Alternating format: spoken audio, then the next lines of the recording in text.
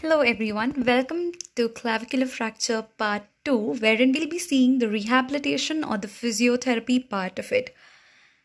It is further divided into operative and non-operative which means the protocol rehabilitation protocol changes in case of operative treatment and changes in case of non-operative treatment. So we will be first looking at the non-operative protocols and then followed by operative. In non-operative protocols, remember POLICE, okay? The P stands for protection. OL stands for optimal loading. And ICE stands for ice, compress, and elevate. So this is the protocol which you will be following in a non-operative patient or conservative treatment patient. Now, what do I mean by protection? In protection, you'll be using either a sling or a brace. Brace is always put in figure of 8, okay? Now, why is brace and sling given? It is in order to keep your hand, your shoulder immobilized so that you don't lead to further damage, okay? So that's the reason we usually give sling or brace and it is given for up to 2 to 4 weeks. The sling and the brace is given up to 2 to 4 weeks. And in non-operative treatment, the clavicular fracture takes about 18 to 28 weeks to heal completely, okay? It takes about 18 to 28 weeks. So our physiotherapy protocol changes weekly. Like, you know, it changes like first we have our protocol between 2 to 4 weeks, then 6 to 8 weeks. So we have protocols based on weekly operations. So brace you're going to put in the figure of 8 brace. Now why brace is required even though we have sling? See people have protruded shoulder, retracted shoulder and all. So what brace does, it, it keeps your shoulder in proper ways so that when the healing takes place, it doesn't occur in a ununiformed form. Like it should not lead to malunion okay? So that's the reason brace is given. People usually put both sling and brace. Now again sling and brace should be put overall the whole day. Uh, if you're going for bed or some personal hygiene work or when you're doing some exercises you can remove it but you need to be very very cautious. And even during sneezing and all you may tend to put a lot of pressure, sneezing and coughing. So there are techniques which will be taught if necessary, okay? So that is about your protection. Now coming to optimal loading.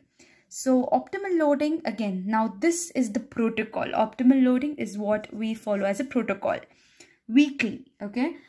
So in first to two weeks, that is one to two weeks. One to two weeks post injury like once the fracture is done one to two weeks. What are we supposed to follow? Arm sling will definitely be there. Self mobilization of elbow and wrist. Elbow and wrist you need to do self mobilization in order to prevent stiffness of elbow and wrist okay? Then ROM of shoulder range of motion of shoulder can be done very cautiously under physiotherapy guidance itself. And the range of motion which will be done is only pendulum exercises. So this is what I mean by pendulum exercises. Okay, you, go, you, you have to take a support of a chair or a table or whatever you have at your availability and then you gotta bend down and do kind of exercises round and round front back crisscross.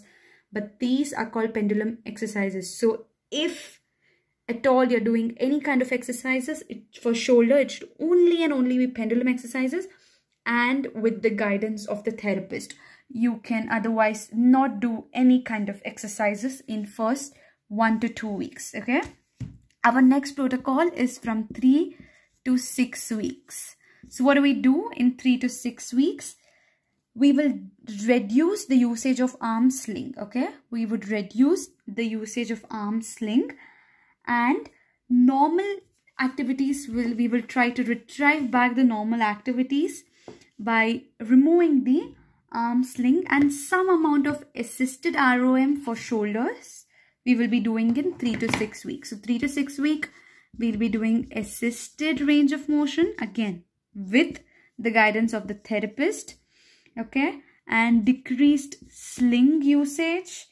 And remember, assist range of motion again above 90 degree you are not supposed to take your shoulder in any kind of range of motion beat abduction flexion above 90 degree it is a big no so in 90 degree itself you need to do the movement and remember one thing it should be single plane movement single plane. You should not do the movement in multiple planes.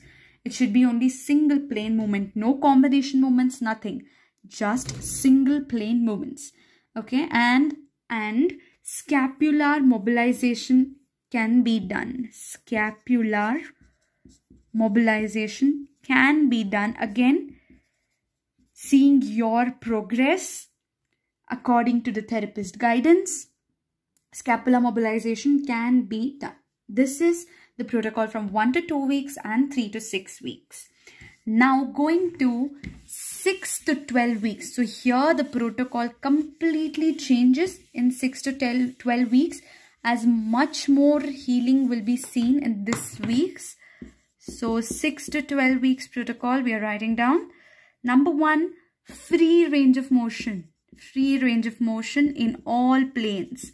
There we saw only in single plane. Here free range of motion in all planes can be done isotonic exercises of the shoulders can be given okay then progressive resisted exercises can be given progressive resisted exercises and uh, these are the main three things which you'll be following you will not go for any strengthening protocol yet because we need to see what is the basis once we take out the x-ray we can see how much the fracture is healed According to that, we will be moving on to a further protocol. So all the first th three protocols like 1 to 2 weeks, 3 to 6 weeks, 6 to 12 weeks, all should be followed in 6 to 12 weeks. Then 12 plus weeks. After 12 weeks, what? 12 plus weeks according to the progress seen, according to the x-ray which we have seen, we will go to a strengthening protocol. We will build up endurance. So after 12 weeks, we'll be seeing more of endurance, strengthening, okay? Treadmill exercises, you can give cycling. So basically to build up all the endurance if he's a sports person, if she's a sports person, these are all helpful. And remember, from week 1 till 12 plus weeks, you can give deep breathing exercises in order to maintain chest hygiene, okay? Deep breathing exercises can be given. So this is the protocol for non-operative rehab. Now coming to operative. Now, after operative treatment, after your uh, intramedullary or screw and plate fixation, what do you do? You have few exercises which can be followed. Since it's already healed now, our protocol becomes a little more easier. Definitely, we will be giving deep breathing exercises to maintain chest hygiene. Okay then we can directly move on to exercises. We have ball exercises. So basically what we need to maintain here, make sure is our first goal is to get the range of motion. Okay. And then strengthening. That's it. Here we don't need to immobilize or something like that. First range of motion and then followed by strengthening. For range of motion, you will be using your ball exercises. I'll be showing you the pictures. Okay, the ball exercise, the pendulum exercises, and the knee brace exercises yeah i'll i'll tell you what this is knee brace exercise not knee brace uh, i mean to say uh, knee move mo mobilizer exercises okay?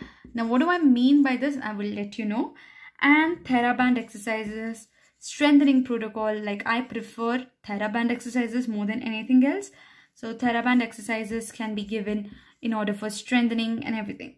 So what do I mean by ball exercises, pendulum exercises? We'll all be seeing in the photos. So mainly operative protocol is range of motion followed by strengthening and returning back to sports or returning back to daily activities of normal life, everything. So this is the first exercise that is the pendulum exercises. So our first uh, initial goal is to get back the range of motion. So we will be seeing few range of motion exercises and pendulum exercises is one of them it is gravity assisted exercises so the pressure on the shoulder or the clavicle will not be more and you can do the range of motion easily. Okay you can do all the range of motion in all planes. So this is the first range of motion exercises which is usually given. Followed by the ball exercise. Now this is what i mean by ball exercise. So this is going to be your initial position and this is going to be your end position. So your goal is to take your hand from this position. You need to extend your elbow straight like thoroughly you need to extend your elbow this is again range of motion exercises which is given. Ball will assist you to complete the range of motion exercises. Exactly the same way we do it on the wall with the ball. So here we are going to take the ball up and down with elbow extended itself. We are going to take the ball up. We're going to bring it back down with elbow extended. So here there's no case of folding like the previous one. So this is the second range of motion exercises which we will be giving. Followed by, this is what I said, knee mobilizing exercises. So this is usually used for mobilization of knee joint or the range of motion of knee joint to maintain that. But we will be using it for our elbow, our shoulders as well. So this in here, the girl is doing the flexion motion, okay, with the help or with the assistant of the equipment now she exactly doing abduction. So previously she was doing flexion and now she's doing for abduction. So this helps mainly, this equipment helps mainly in flexion and abduction. So once we restore our range of motion by doing all these exercises, we go to our strengthening protocol. So strengthening protocol will be done with some of the help of TheraBands. So these are all TheraBand exercises which is done this is the TheraBand extension exercises, this TheraBand internal rotation exercises, external rotation, abduction. This is your uh, internal rotation. This is your external rotation. Okay. So, um, this is your flexion, extension, all kinds of exercises, strengthening exercises can be done used by a TheraBand, using a TheraBand. And it can also the pressure or the resistance can also be given by the therapist like actively or you can give the resistance through your normal hand. So you have various ways to strengthen. You can either give a ball activity like a basketball activity that is very good for you know strengthening and range of motion. So the basketball activity can be given and you can modify okay? You can modify your own set of exercises and protocols depending upon the needs of a person. Like if he or she is from a sports background and need to return back to sports your strengthening exercises should be done maximally because she is you know using her hand continuously like a tennis player badminton player. That is what they do okay? And if a person if a homemaker or just a normal corporate job officer comes to you. So there are protocol changes. Our aim is to maintain range of motion and a little bit of strengthening and not more because you know their type of job does not require too much of strengthening. So accordingly we will design our protocols set our protocols. So yeah.